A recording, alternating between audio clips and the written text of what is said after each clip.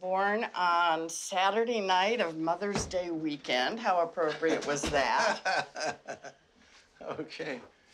So we're going to look them over Yep. and give their first vaccines. Right, And deworm them. right. And find out what they are. And if we can get the uh, nails clipped. I've already Oh, been stabbed a couple of times, sure. very sharp. Oh.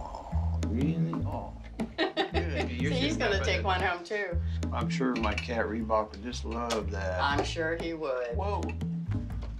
Oh, you're right about those claws. Well, my goodness. Yeah, Yeah. you might be a keeper. What do you think? We got a little boy here. A little boy. Yes. Oh. What about this little dewormer here? What do you think of this? There we go. Mm. A little shorten these little claws a little bit. All right. Well, we're done with that one. You can, you can We're gonna do it that grab way. the other one that looks like him. Another boy. Another boy. Yeah.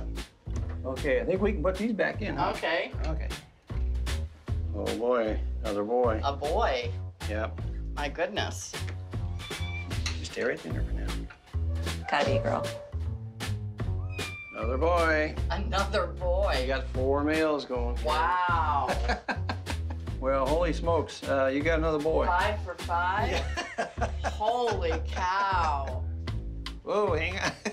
Like I love the doctor. Okay.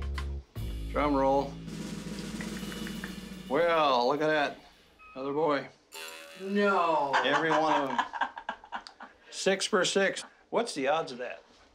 Yeah. That's pretty wild. Holy cow. That's absolutely a first. That was just amazing. to have all six kittens be one sex. It's amazing. You guys go home and tear up the couch, okay? Yeah. okay.